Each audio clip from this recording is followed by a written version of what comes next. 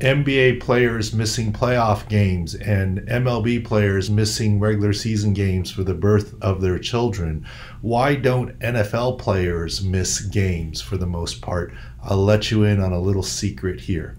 This is Dr. David Chao, Pro Football Doc at Sports Injury Central. As a head team physician of 17 years in the NFL, we'll let you in on some insight of how NFL players typically don't miss games for their childbirth. It's not that they don't care. It's not that the games are just once a week and by chance. It's not that the wives uh, take football more seriously. There is a reason for this.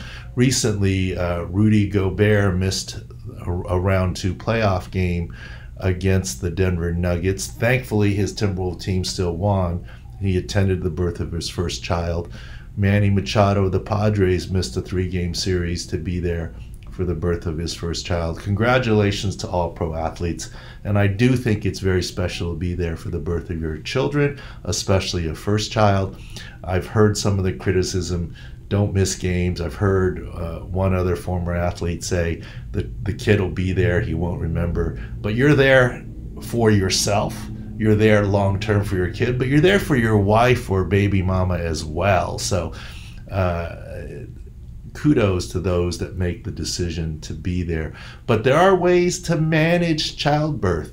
Last year, Sean McVay jokingly said he wasn't going to miss a game, that his son knows better than to show up or to be born on a game day. Uh, my wife's doing great. I think there was a lot made about me missing a game. I'm not going to miss a game. My son knows better than to come during a game.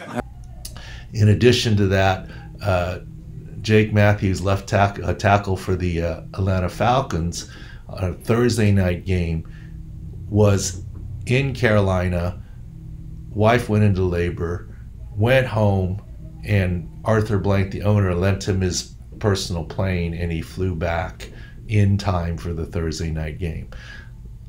No question, NFL 16, 17 regular season games, different than the 82 games or 162 games, etc., in basketball and baseball. So there's more opportunity. But here's what happens on an NFL medical staff. You can try and do this on NBA Major League Baseball, but it's harder. NFL medical staffs try and time out the birth.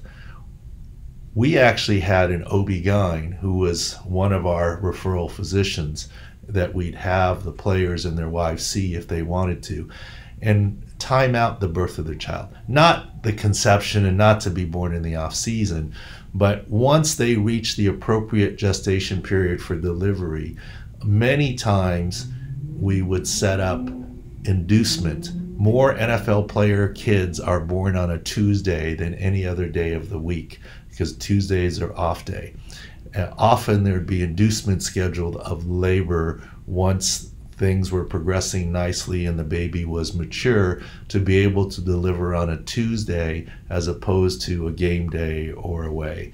And there's lots of different management things that can be done, etc. And believe it or not, NFL team physicians with the appropriate consent and encouragement of mom and dad would do so. And that's why you don't see it as much in the NFL. And admittedly, it is easier to juggle because of one game a week. My personal experience is I had boy girl twins, my first in October during an NFL season. Uh, it ended up being an emergency C section on a Tuesday. I did leave for the game, away game on Friday with the team. Uh, while my kids and wife were still in the hospital. One was still in the NICU. And I still hear about it to this day. I made it back for the discharge on Sunday night. So I do applaud athletes for being there. But that's our little secret. NFL teams try and plan birth timing around games and typically induce on Tuesday to avoid these issues and problems. This is Dr. David Chao, Pro Football Doc, Sports Injury Central. Thanks for watching.